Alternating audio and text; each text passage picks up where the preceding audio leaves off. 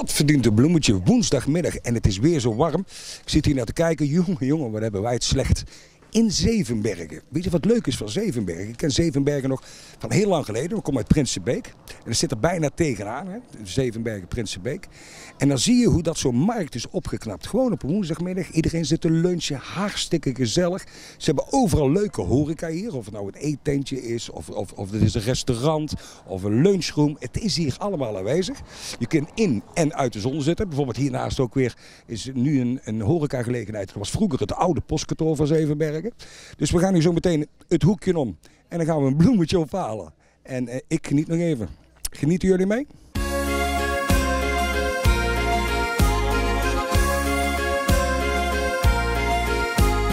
Ik geef je een roosje van Roosje. Hartstikke leuk, we zijn er weer. Ja, Hans, leuk jou weer te zien Nou ja, is wederzijds. op deze mooie stralende zonnige dag. Het zit ons wel mee de afgelopen week, hè? Dat kun je wel zeggen. Is dat goed voor de bloemenhandel? Nou, niet zo hè. Nee. Ja, wat zei je vorige keer al? Vaderdag komt eraan. Vaderdag komt eraan, dat klopt. Er is meer vaste plantjes, heb je mij Ja, verteld. dat klopt. Heeft u Ehm, goed onthouden? Ja, ja nee, nee, natuurlijk. En de luisteraars en de kijkers ook. Ehm, een bloemetje. Ik ben benieuwd wat je nu voor ons hebben gemaakt, want we hebben veel complimenten gehad voor de vorige. Nou, mooi. Ja, dat zien. Ik vind het altijd knap, hè? Hè? Ja, ik doe nou de bloemen verzamelen en dan doe ik het in de binderij, zo heet dat achter. Eh, doe ik er een mooi een boeket van eh, maken. Binderij.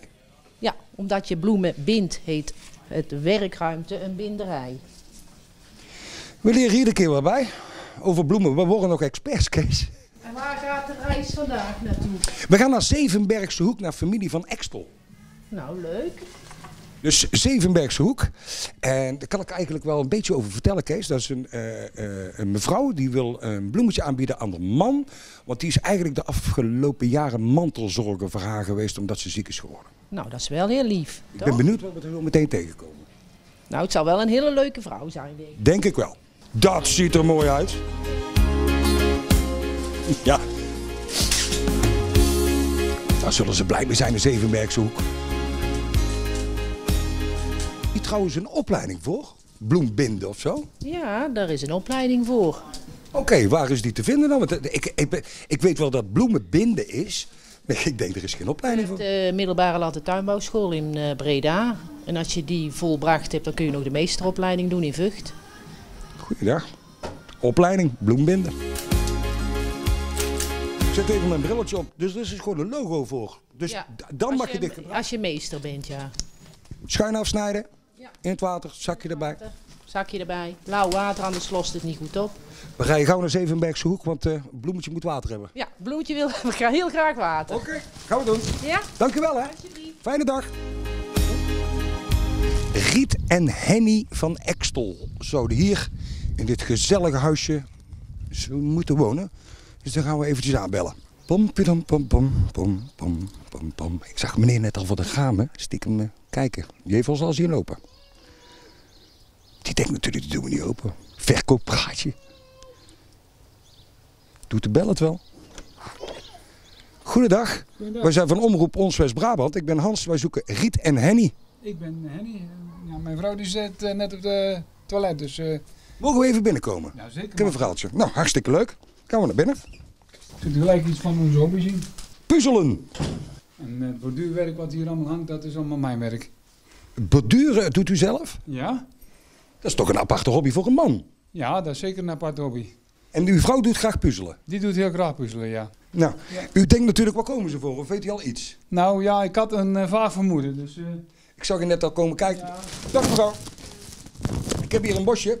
Ik ben Hans van eh, Omroep Ons West-Brabant. En het is het programma Dat Verdient een Bloemetje.